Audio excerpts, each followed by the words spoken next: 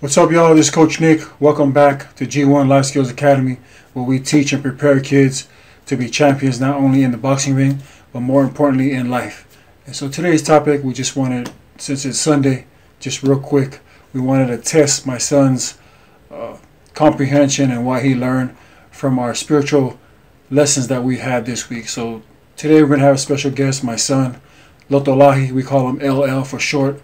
Most people can't pronounce it, so we just call him LL. So uh, we're going to have him here on the show, just testing to see what he remembers and what he learns from the time that we put in and the lessons. Remember, the key to parenting is repetition and time. So repeatedly do something over and over, over time.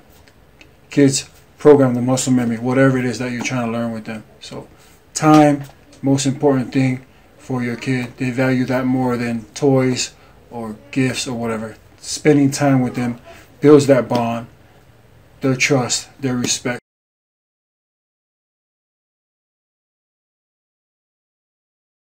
So welcome LL to the show.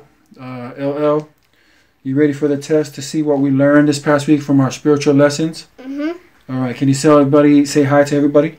Hi. All right, you ready? Mm-hmm. All right, so here we go. Let's see what uh, LL learned from this past week. Uh, so, Mm, question number one Where does Heavenly Father live? in heaven. In heaven, all right. And number two, where did we come from before earth? Before we came to earth, we were in heaven. Heaven, all right. And number three, what kind of bodies did we have in heaven? Spirit bodies. Spirit bodies, all right. Um, are we spirit children of God? Yes. Okay, good answer. What are two reasons why we needed to come to earth? Um, two reasons are so we're gonna have flesh bodies, and so, so we could, so we could um, so we could be tested and have flesh bodies. All right, all right. Thank you, thank you. You do pay attention when I talk to you. All right. Um, so, question number six Who was going to die for us on the cross? Who was gonna die for us? Mm-hmm. Jesus Christ. All right, good answer. Okay, and why did he have to die for us on the cross?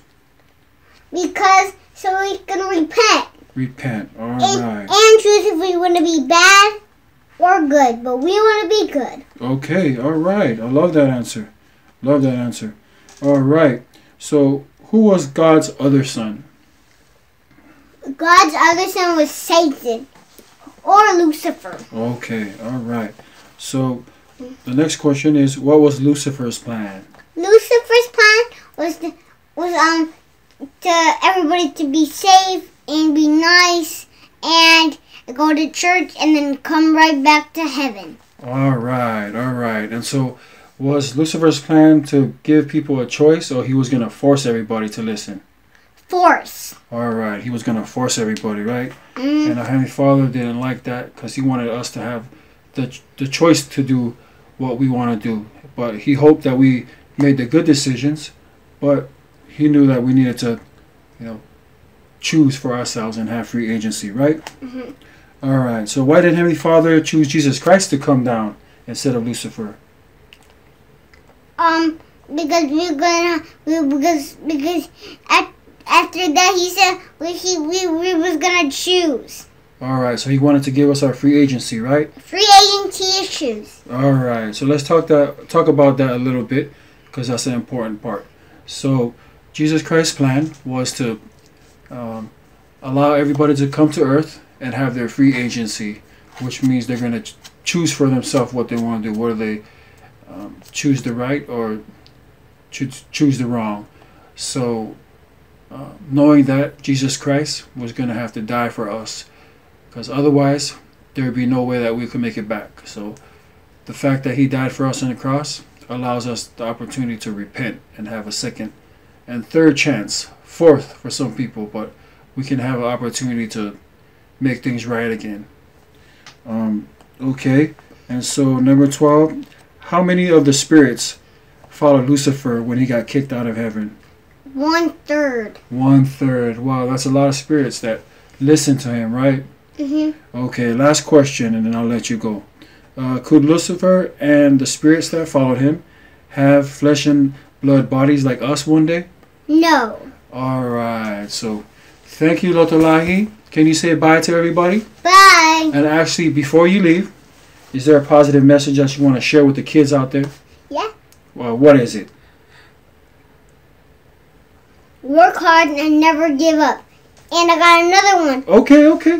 Go ahead, I, go want, ahead. I want you to never give up on your dreams and stay positive. All right. Thank you, Papi. Oma. All right. So I just want to encourage everybody to put in the time to teach your kids life skills, help them. If you put in the time, put in the effort, it's going to pay off.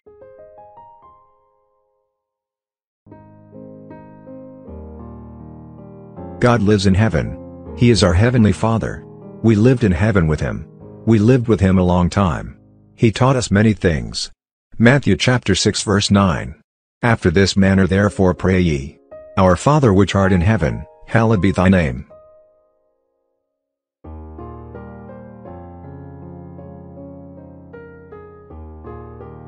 In heaven we did not have flesh and blood bodies. We had spirit bodies. Our spirit bodies looked like the flesh and blood bodies we have now. We were the spirit children of God. Hebrews chapter 12 verse 9. Furthermore we have had fathers of our flesh which corrected us, and we gave them reverence. Shall we not much rather be in subjection unto the Father of spirits, and live?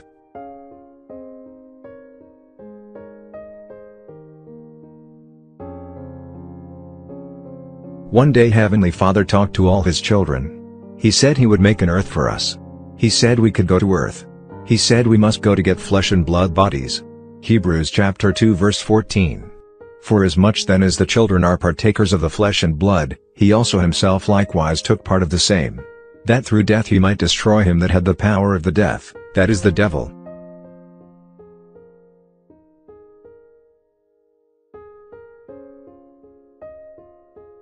God said we would be tested on earth. We should obey his commandments. But God would not make us obey him. We would come back to heaven and live with God if we obeyed him. God chose some spirits to help him on earth. They were righteous. He knew they would obey his commandments. They would be prophets and leaders.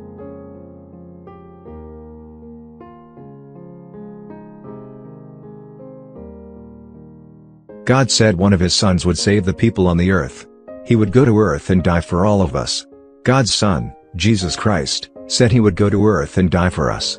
He would obey God.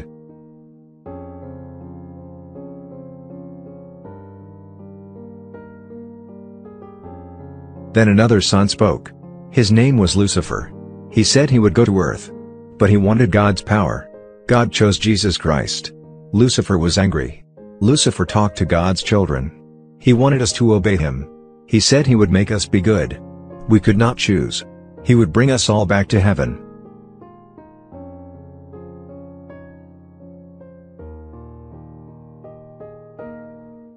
One third of the spirits followed Lucifer. Lucifer and these spirits did not obey God. God was very sad. He sent Lucifer and the spirits who followed Lucifer out of heaven. They could not have flesh and blood bodies. They could not go back to heaven. Lucifer would lead them. His name would be Satan or the devil.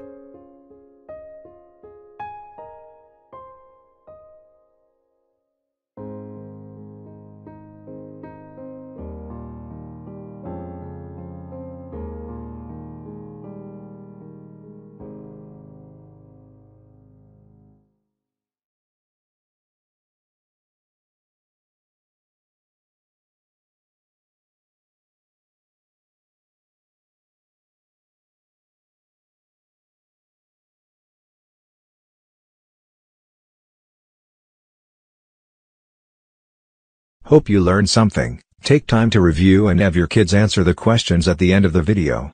This will test them to see if they learn the key points of the plan of salvation. Great job in investing time in your children. Keep it up, because they will be blessed for it. Programming their minds now will prepare them to be able to handle life's challenges. Repetition and time are parents' most powerful tools in preparing our kids for the future. Just like kids learn the latest dance moves and dysfunctional rap lyrics from listening and watching hours of TikTok videos and other social media platforms, listening and watching positive videos will program them for success. The sooner you start the better it is for them. Don't wait until you see signs of negative behavior because it might be too late. Stay tuned, we will have more positive videos for kids to program their mind to be positive. Until next time, much love and aloha.